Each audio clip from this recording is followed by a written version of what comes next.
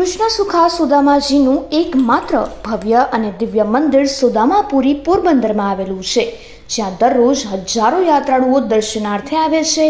આ મંદિર વહીવટીતંત્ર હસ્તકનું છે અને તેના વિકાસ માટે વાતો કરવામાં આવે છે, પરંતુ નક્કર કાર્યવાહી કરવામાં આવતી નથી.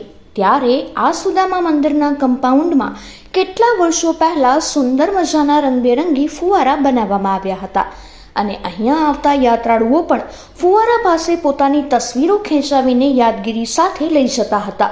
પરંતુ મેન્ટેનન્સના અભાવે આ ફુવારાઓ ઘણા લાંબા સમયથી બંધ થઈ ગયા છે.